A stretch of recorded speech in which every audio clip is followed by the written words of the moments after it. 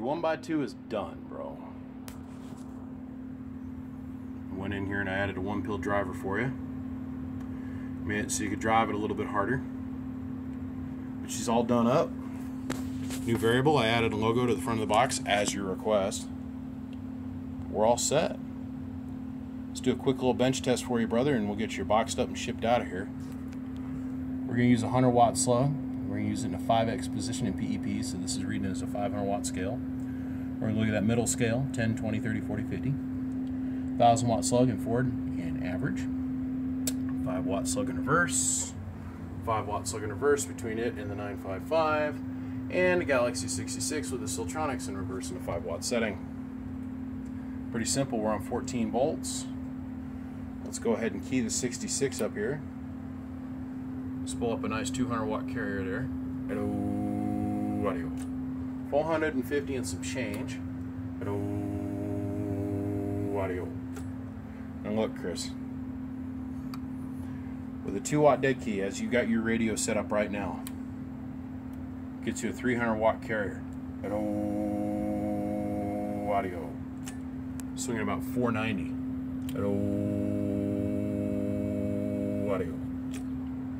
Here's your input tune. Which is beautiful.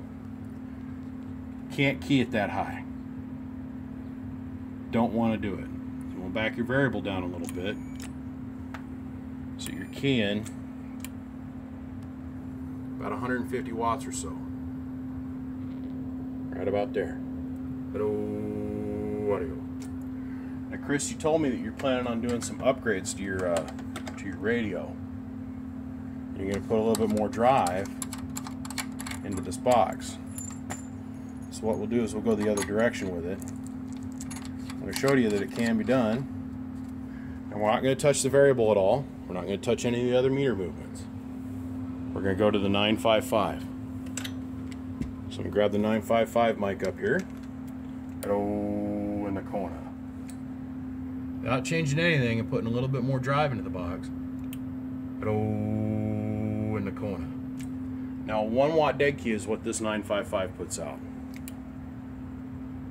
It gets you a 20 watt carrier. Turn the variable up. See, one watt dead key is about 250 watts. Hello. Ah. 500 watts in the corner. So back the variable down to here. 100 watt carrier. Hello in the corner. Audio. She's working just the way she should, Chris. You're all set. I'm going to put the tin on it. We'll send it out the door to you. I appreciate you giving me the opportunity to build this up for you. And it's got a 2870 or 2290 driving two 2879s.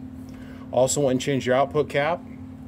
The output cap on this had gone bad, and that usually shows up from being either too hot, overvolted, or just bad components. Well, I think it got too hot. Anywho, she's done. My name is BBI. Without a shadow of a doubt, I am the biggest mud duck in Idaho. Come check us out, www.bbiamps.com. I'll see you.